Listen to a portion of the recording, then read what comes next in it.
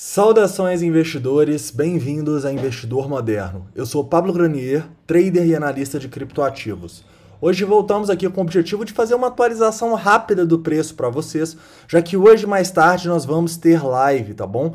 Hoje por volta das 5 horas entramos aqui ao vivo para também fazer análise das altcoins. Vamos analisar o Bitcoin e todas as altcoins que vocês pediram no comentário do último vídeo e nesse, tá bom? Ainda dá tempo de você pedir a sua altcoin que você quer que seja analisada, então deixa nos comentários, ok? Vamos começar fazendo uma análise técnica no 4 horas aqui, diminuir os tempos gráficos e depois fechar com uma análise de sentimento. Vamos lá? Investidores, no 4 horas o Bitcoin ele continua em tendência de alta, tá? Ele felizmente não conseguiu fechar candles abaixo da nossa nuvem de Shimoku e abaixo da região dos 6.600, o que poderia configurar para a gente uma reversão da tendência no 4 horas.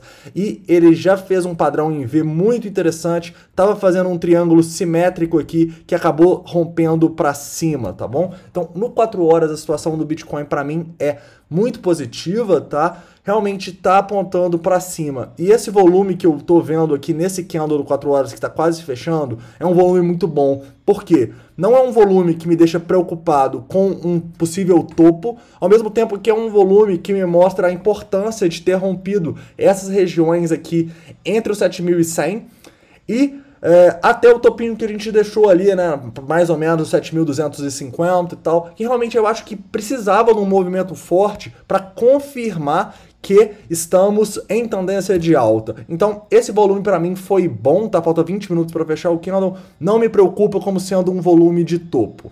Continuando, numa hora a gente vai poder ver melhor aqui o nosso triângulo, tá? O nosso triângulo que indiscutivelmente foi rompido com volume, o que é muito bom. Então, parabéns quem, para quem entrou nessa operação do triângulo aqui, tá?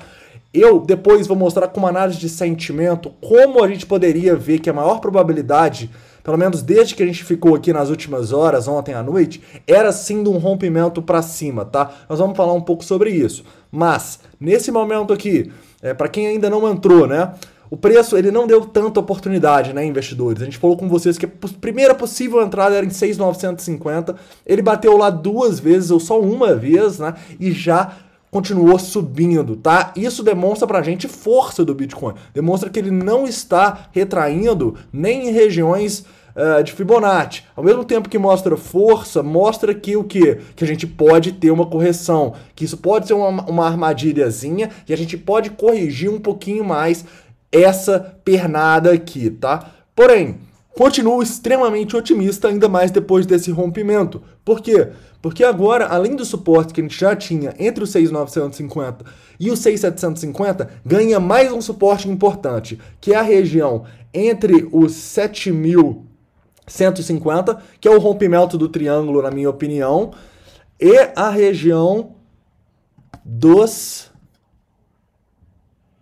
7 mil dólares. Talvez um pouquinho mais acima, Tá, eu vou deixar nesse fundinho aqui, 7.050, tá? Eu acho que essa é uma região de suporte, uma região que pode dar possíveis entradas aí de day trade. Porque se a gente olhar as médias, olha só, a gente teve o rompimento, se você quiser fazer uma entrada mais conservadora, você deve esperar voltar nas médias. Aqui vai ter um suporte legal, quem sabe para pegar uma onda para cima, mas, como eu disse, como a gente subiu demais e não corrigiu em Fibonacci, pode ser uma operação um pouco arriscada, por isso eu não estenderia muito meu stop dessa região dos 7.050 ou no máximo nesse fundo aqui em 6.980, tá bom? Mas a situação para o Bitcoin é boa para quem está comprado igual eu.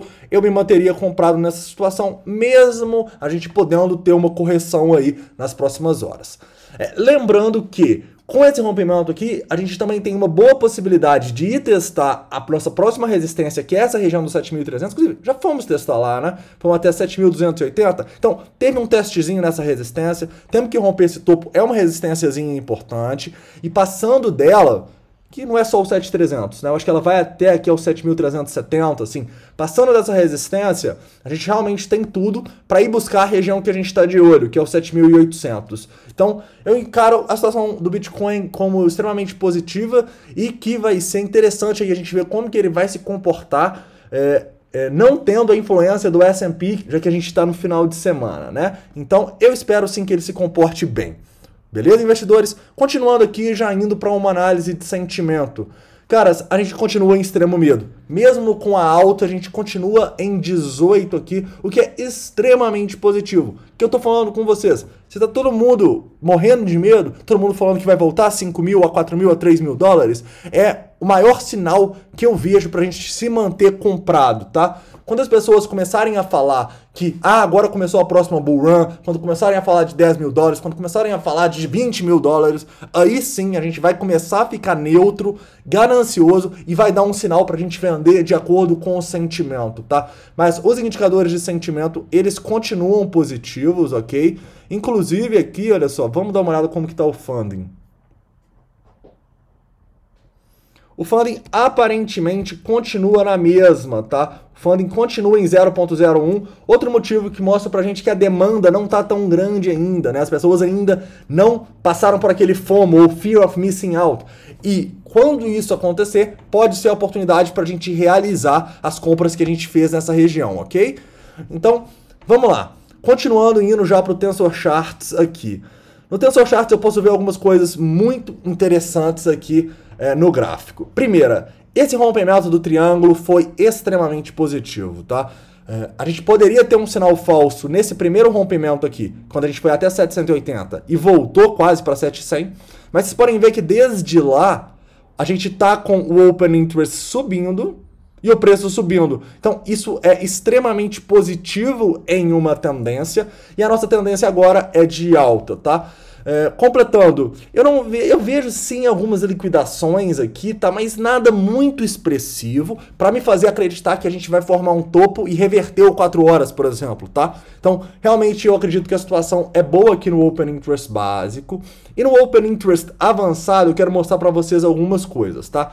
Primeiro, como a gente poderia saber que a maior probabilidade era de um rompimento para cima? E segundo, quero mostrar onde as baleias estão tentando segurar aí pra gente ter uma ideia do que vai ser importante nas próximas horas, ok? Vamos lá. Investidores, quando a gente estava no triângulo que é aqui embaixo, vocês conseguem ver que ontem à noite, olha só, a gente começa a ter uma predominância dos bulls, dos touros. Ou seja, o que, que esse MDM está mostrando? Que tinha muito mais ordem de compra aqui, tentando fazer o Bitcoin subir, do que ordem de vela tentando fazer ele cair. Isso mostra pra gente a posição que as baleias e o que elas estão tentando fazer com o mercado. Além, é claro, da oferta e demanda de menores pessoas que colocam as ordens, né? Então, mas eu encaro esse indicador muito mais como uma medida da manipulação. Para onde as instituições querem levar o mercado, correto? E você pode ver que em momentos quando a gente tem uma predominância de um dos lados, normalmente esse lado acaba vencendo, tá? Então, eu vejo claramente essa predominância que provavelmente fez esse rompimento acontecer. Nesse momento aqui a gente tá bem parecido, tá? E o que é bom para mim, tá? Depois de um rompimento, quando você passa bastante daquela região do 7120 que a gente estava falando no último vídeo e fica muito acima com o MDM equilibrado, é um bom sinal. Por quê? É um sinal de que as pessoas encontraram um valor justo, as instituições veem um valor justo no Bitcoin a 7.240 dólares, ok? Então a gente pode ver, por exemplo, que tem instituição tentando manter ele acima dos 7.200, vocês estão vendo aqui? Assim como tem instituição tentando não deixar ele subir dessa zona. Então vai ser uma briga interessante nas próximas horas. Olha só, ordens de 3 milhões aqui. Pra gente ver, se a gente perder essa região aqui próximo a 7.200, a gente deve dar a oportunidade de entrada no 15 minutos que eu falei com vocês, tá?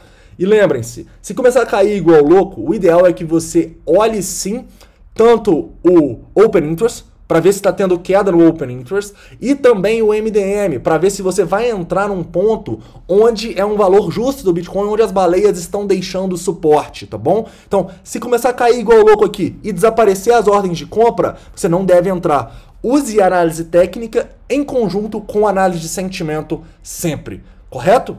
Então, investidores, é isso. Espero que vocês tenham gostado dessa análise um pouquinho mais rápida. Não esquece de deixar o like, se inscrever caso não seja inscrito e deixar nos comentários as altcoins que vocês querem que sejam analisadas até as 4 horas assim no máximo, que 5 horas nós estamos ao vivo. Então é isso, um forte abraço e até o próximo vídeo.